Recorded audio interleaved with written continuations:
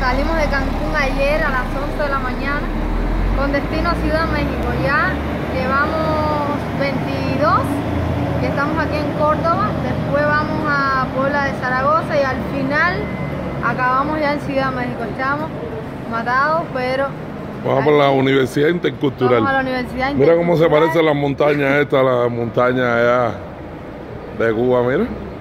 Y aquí hace tremendo frío. A la Espinal la gente se vino, la gente se vino, hace frío. Y mira dónde estamos. Bueno, y esta es la guagua en la que nos estamos transportando.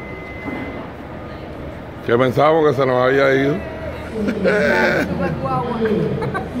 Ay, mamá.